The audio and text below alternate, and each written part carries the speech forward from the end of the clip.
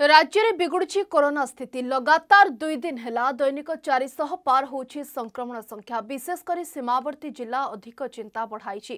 ଓଡ଼ିଶା ଛତିଶଗଡ଼ ସୀମାବର୍ତ୍ତୀ ଆଠଟି ଜିଲ୍ଲାରେ ବଢ଼ୁଛି କରୋନା ସଂକ୍ରମଣ। ଖାସ୍ କରି ସୁନ୍ଦରଗଡ଼ କଳାହାଣ୍ଡି ବରଗଡ଼ ଝାରସୁଗୁଡ଼ା ନବରଙ୍ଗପୁର ନୂଆପଡ଼ା ଜିଲ୍ଲାରୁ ଆକ୍ରାନ୍ତଙ୍କ ସଂଖ୍ୟା ବଢ଼ିବାରେ ଲାଗିଛି। ଏଥିପାଇଁ ଜିଲ୍ଲାମାନଙ୍କରେ ସଂକ୍ରମଣ କମାଇବାକୁ ପଦକ୍ଷେପ ନିଆଯାଉଛି। ଦଶଟି ଜିଲ୍ଲାରେ ଆସନ୍ତାକାଲିଠୁ ନାଇଟ୍ କର୍ଫ୍ୟୁ ଲାଗୁ କରାଯିବ। ସୁନ୍ଦରଗଡ଼ ଝାରସୁଗୁଡ଼ା ନୂଆପଡ଼ା କଳାହାଣ୍ଡି ସମ୍ବଲପୁର ନବରଙ୍ଗପୁର ମାଲକାନଗିରି ବରଗଡ଼ ବଲାଙ୍ଗୀର କୋରାପୁଟ ଜିଲ୍ଲାରେ ନାଇଟ୍ କର୍ଫ୍ୟୁ ଲାଗୁ ହେବ ରାତି ଦଶଟାରୁ ସକାଳ ପାଞ୍ଚ ଯାଏ ନାଇଟ୍ କର୍ଫ୍ୟୁ ରହିବ ବଳବତ୍ତର। ତେବେ ନାଇଟ୍ କର୍ଫ୍ୟୁ ସମୟରେ ଶିଳ୍ପ କାରଖାନା ଖୋଲା ରହିବ।